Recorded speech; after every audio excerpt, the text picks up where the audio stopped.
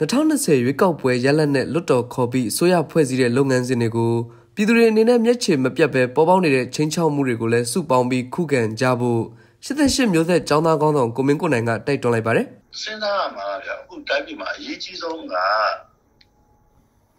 နောက်လွတ်တော်တက်တန်းပြန်စပြီးတော့အစိုးရတည်ရွေးဖို့ပဲဗျဟုတ်ပြီအဲ့ဒီဟာကဘာနဲ့သွားရတာလဲဆိုတော့ရွေးကောက်ပွဲရလဒ်နဲ့သွားကျွန်တော်အဲ့ဒါကိုမျက်ခြေမပြတ်နေချင်ဘူး ရွေးကောက်ပွဲရလဒ်ကိုပယ်ဖြတ်ချင်တာလားလက်မခံဘူးလားလက်ခံလားအဲ့အဲ့ဒီမေးခွန်းကအရေးကြီးဆုံးပဲကျွန်တော်တို့မဲဆန္ဒပေးခဲ့တဲ့ပြည်သူတွေဒီလောက်အန်ရည်ကြားရဟိုမဲရုံသွားခဲ့တဲ့ပြည်သူတွေရဲ့ဆုံးဖြတ်တဲ့ဆုံးဖြတ်ကိုပေါ့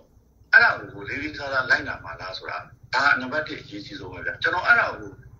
မျက်စိပြတ်မခံနေဘူးအဲ့ဒီလုပ်ငန်းစဉ်၃ခုကိုပြပြအောင် အောင်မြင်အောင်လုပ်စီခြင်းတယ်တက်မတော်အနေနဲ့အာဏာသိမ်းမှလားဆိုတာမျိုးစိုးရင်ကြတော့ရှိတော့ဟိုချုပ်ပြောပုံရဆိုရင်ကျွန်တော်တို့ကတက်မတော်အနေနဲ့အာဏာမသိမ်းဘူးလို့မှတ်ယူလို့ရမလားခင်ဗျာ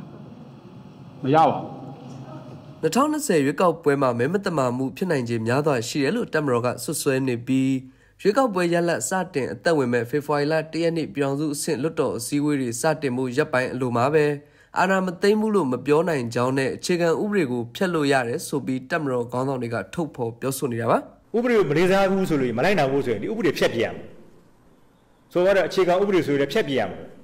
ဒီဥပဒေမလိုက်နိုင်ဘူးဆိုဖွဲ့စည်းပုံအခြေခံဥပဒေဖျက်ပြရမယ်ဒါကြောင့်ဟိုတော်လိုင်းကောင်စီခေတ်တော်ကလည်း49ခုနှစ်ဥပဒေကိုဖျက်လိုက်တာပဲနဝရခေတ်မှာတက်မတော်တက်တာခါမှာ84ခုနှစ်ဖွဲ့စည်းပုံအခြေခံဥပဒေဖျက်လိုက်တာပဲ ကိုမင်းကိုနိုင်ကတော့ပြည်သူတွေအနေနဲ့ချင်းချောက်မှုပုံစံမျိုးစုံကိုကြုံတွေ့ခဲ့ပူပြီးဖြစ်တဲ့အတွက်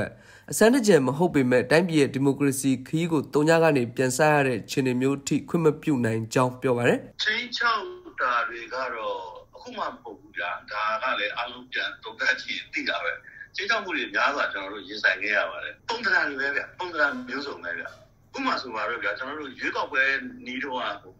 ဘုံတွေခွဲပြတဲ့သူတွေခွဲပြခဲ့တာပဲလေဗျာဒါအချင်းချောက်တာဟောဗျဒီကြားတွေကပဲတက်တိပွေးပြီးတော့ကျွန်တော်တို့မဲရုံသွားခဲ့ကြတာပဲအဲ့လိုပဲဒီကုသယောဂတက်ယောဂကြီးကလည်းချင်းချောက်တာပဲဒါလည်းကျွန်တော်တို့မဲရုံရောက်သွားခဲ့ကြတာပဲအဲ့တော့အဓိကတော့ရောက်အောင်သွားဖို့ပဲတောင်းလည်းသွားအဲ့ဒီပုံတရံဆိုတဲ့အရာလေးကျွန်တော်မပြောကျွန်တော်နောက်ွယ်က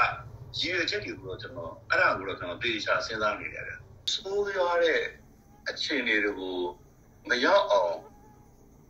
ကျွန်တော်တို့ခုခံတားဆီးရမယ်နည်းတွေတော့လည်းတခါလေးစဉ်းစားထားမယ်ဆိုကျွန်တော်ပြောတယ်လေဟိုဖြစ်နိုင်တာတော့ဗျာအမျိုးမျိုးရှိတာပေါ့အဆုံးရှိနိုင်တာပေါ့နော်ဒါပေမဲ့ကျွန်တော်တို့အတက်ကတော့တိုးချင်းအနေနဲ့ပြောကြရင်တော့ဘာမှစမ်းကြဲတဲ့ကိစ္စမဟုတ်ဘူးခုနကလည်းကျွန်တော်အဲ့ဒါကိုလည်းပြောပြပြီးပြီဒါပေမဲ့မဖြစ်နိုင်ဘူးဆိုတာကိုတော့